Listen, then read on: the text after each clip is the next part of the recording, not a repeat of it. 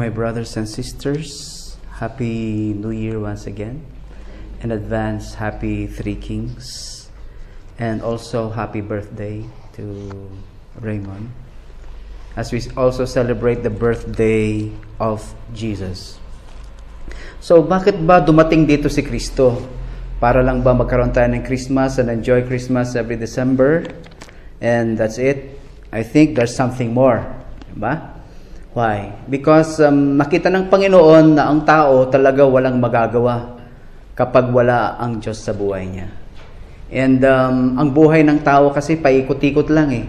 Alam niyo noong unang panahon na wala pa si Kristo, if you read the Bible thoroughly, the life of man just, you know, parang sabi nga eh, tumubo siyang dahon ngayon, susunugin bukas.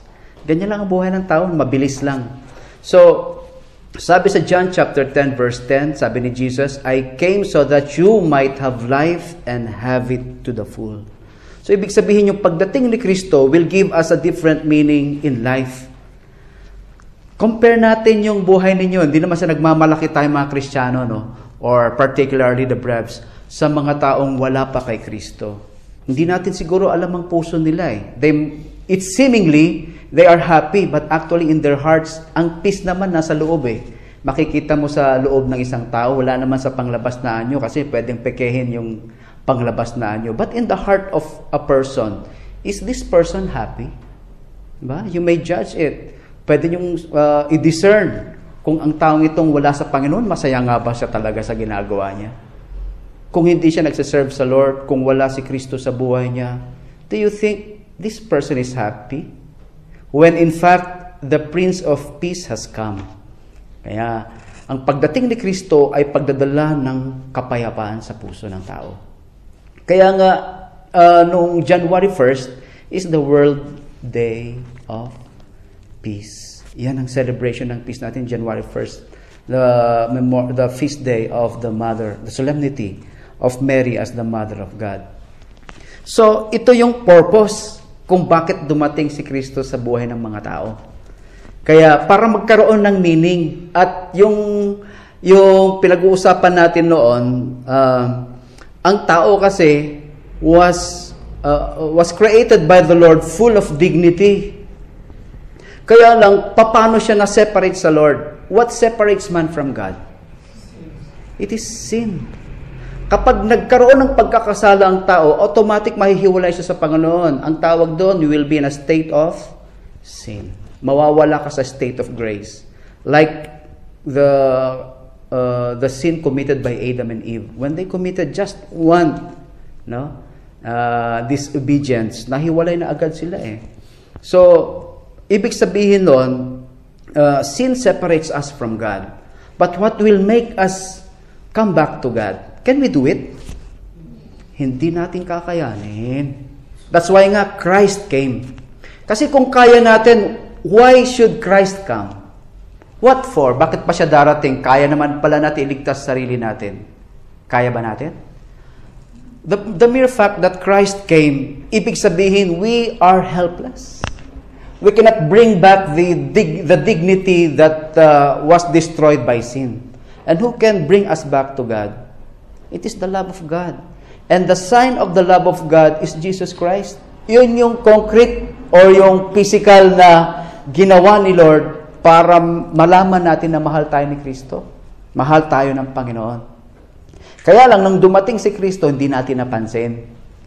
Kasi ang, ang pagdating ng Panginoon, talaga hindi mo mapapansin eh we have to discover for ourselves. Kasi uh, um, Christ comes in the ordinariness of life. Ba? Hindi sa mga fantastic na mga bagay siya dumarating, kundi sa mga sa ordinary days, sa ordinary things in life siya dumarating. Kaya nga ang prayer natin na mga, lalo na tayo mga kabataan, kayo mga kabataan, is the prayer for discernment. Nasaan ba si Lord? Yan ang tanongin natin, nasaan ka ba, Panginoon?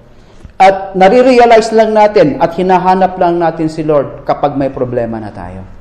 Di ba?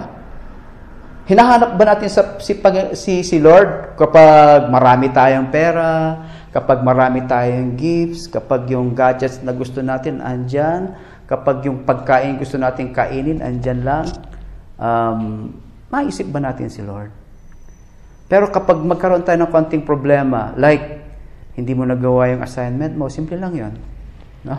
Uh, may exams na, or may little problem ka sa relationships mo, hindi kayo nagkaintindihan ng mami mo, or nagkatampuhan kayo ng kapatid mo, or even friends. Suddenly, no, nagiging, nagiging real si Kristo. What more sa mga mas mabibigat na mga problema, the more real Christ will become. That's why nga eh, Christ came so that He will be one with us in our sufferings. Kaya hindi natin pwedeng sabihin na si Kristo hindi niya alam ang suffering. God siya eh. But when Christ came, He was stripped of His being God. And He accepted that. Dumating siyang kagaya natin. Except in sin. And He only has the power when God gives him that, God the Father, through the Holy Spirit. Kaya in everything, si Kristo umiyak din, kagaya natin, nahirapan din siya, nagtago din siya, hinabol din siya, sikat din siya, umiyak din si Kristo. Marami rin eh. And, and uh, ang pinakamahirap sa lahat, pinahirapan pa natin siya. Bakit? Hindi kasi natin siya nakilala. Hindi natin siya nakilala. And until now, uh, Christ is coming to us. So this Christmas, there must be something that we have to give up from this world. Ano kaya yung pwede nating iregalo kay, kay Lord? Diba? Kaya nga, what separates us from God is sin. And the purpose of God coming to us is to blot out sin from our lives. And so what can we give God that He does not have? God naman siya, nasa Kanya na lahat. Ano kaya pwede natin ibigay kay Kristo na wala sa Kanya?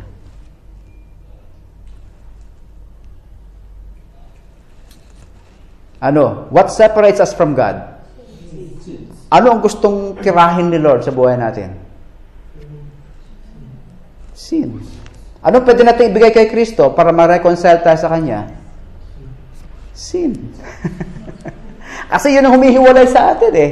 Hindi naman natin kayang bumalik kay Kristo na dala yon. Sino ang may power to forgive sins?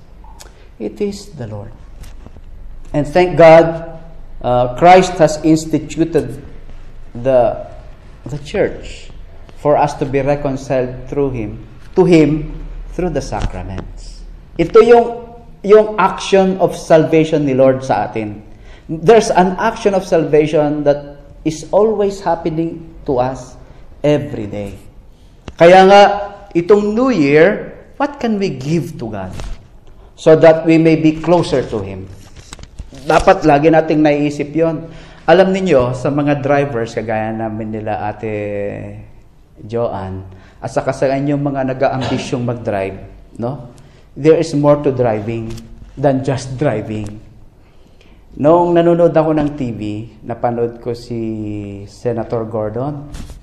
No, may kinikwento siya tungkol sa sa sa attitude ng mga drivers sa lansangan. Kasi pag dito sa Pilipinas, pag nag-drive ka na sa ibang bansa, pagbalik mo sa Pilipinas, ayaw mo na mag-drive dito.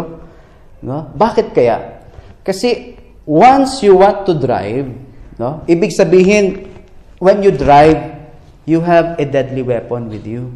Ano yung deadly weapon na yun? Sasakyan na yun. Kasi yung sasakyan na yun, pwede kang makapatay ng tao or pwede kang mamatay. Sa sasakyan na yan. No. So what should you instill in your mind when you start driving? See to it that the law is in your mind. Keep in mind that there is a law. If you go beyond the law, you will be arrested or you will pay the price. Di ba? Kaya pag nagdadrive ka sa lansangan, ano ang meron sa mga lansangan? Ang dami-dami mga signposts. Di ba? Um, uh, uh, walang U-turn, do not enter. Mga ganyan, di ba? Marami yung mga ganyan. Pag hindi mo susundan yon, ano mangyayari sa'yo? Madidisgrasya ka. Kaya maraming nadidisgrasya ang Pilipino kasi mahilig sila sa palusot. They defy the signs. Ah, tulad lang nung, nung street light, green, anong street light, anong kulay? red, yellow, green. Tatlo lang. Red, yellow, green. Anong ibig sabihin ng red? Anong sabihin ng green? No? Green. Ano ibig sabihin ng green? Go. Anong ibig sabihin ng red? Stop. Anong ibig sabihin ng yellow? Ha? Ha? Ano no? Ready? Get set? Go. Ang ibig sabihin ng yellow, para maintindihan ninyo, go slow. Dandahan ka na kasi mag-stop na. Or ibig sabihin, uh, prepare, go slow na. Stop na. Pwede. Ibig sabihin, that's a warning sign. And many of the Filipinos ignore the yellow sign. When they see the yellow sign, they go faster. faster. So, ibig sabihin, there's something wrong with how we follow rules. Right? So, when you are driving, see to it that the law is in your mind. Kasi anytime, mahuli ka. Wala ka lisensya, huliin ka. Diba? Pag expired yung, yung car registration mo, huliin ka. Smoke belching ka, huliin ka. Uh, no right turn, nag-right turn ka, huliin ka. Stop, nag-go ka, huliin ka. Ibig sabihin, nandyan naman lahat eh. But the problem is gusto nating lumusot. Dito sa Session Road lang, nakikita na nga pedestrian lane. Anong ginagawa ng mga sasakyan? Parang gusto niya sagasaan yung tao, eh pedestrian lane yun eh. Ibig sabihin, dadaan ng mga tao. Go slow. Dito sa Baguio, dapat nga uh, at least 3 seconds huminto ka. Di ba? So, meron pa mga iba. Fasten your seat belts. You don't even use it. So, ibig sabihin nito, my dear friends, life is bounded by some rules and regulations. If we go beyond it, we will not be happy. Guess nyo? Kasi, uh, you may makakalusot ka, but the next time, aron, baka hindi ka na makalusot. Ano ba? Baka makasagasa ka na ng tao, baka makadisgrasya ka na, or madisgrasya ka. Kaya ang sinasabi lagi dyan, um, drive defensively. Nagets nyo? Drive defensively. Ibig sabihin, keep the law in mind. May nabasa ako, sabi ng bumper sticker, you live the way you drive. Anong ibig sabihin nun? You live the way you drive. If you are reckless in driving, you are reckless in life. If you are defensive in driving, you are defensive in life. So, makikita mo yung attitude. Marami, pag kayo sumasakay sa mga magulang ninyo, sa mga drivers, PUJ, makikita mo na yung buhay ng driver sa paraan ng pagdadrive niya. Gets nyo? Pumupunta doon eh, sa paa niya, sa kamay niya, yung buhay niya. Kaya tayo, my dear friends, ano ang minamaneho nyo sa buhay niyo? Yung mismong buhay nyo, minamaneho ninyo. Ang problema lang dito, yung sasakyan pwedeng palitan. Yung buhay, hindi. Hindi pwedeng palitan. Once na na-disgrasya ka, I mean, sabi nga ng isang kanta nga, we seal our fate by the choices we make. You are growing young people. Be careful with your choices. This 2013, please keep the law in mind. What is the law? The law of God. Keep the law in your mind, in your heart, in your soul. Parang yung mga pariseyo. Alam niyo yung mga pariseyo? Pati sa mga turban nila, sa mga damit nila, nakasulat doon yung law of God para lagi nilang maalala. Sa atin din sana. Lagi sana nating naalala. Kaya nga itong pag-vespers natin, pag-pray natin, especially this year of faith, keep the law in mind. Para hindi tayo madisgrasya. Ngayong 2013, there must be something that we have to give up so that we can receive Christ. Kasi pag ang baso, pag puno na ang salop, hindi mo na matagdagan. You have to empty yourself in order to fill in yourself. Gets? Pag punong-puno na yung puso natin, the best way is to deny yourself. Empty yourself.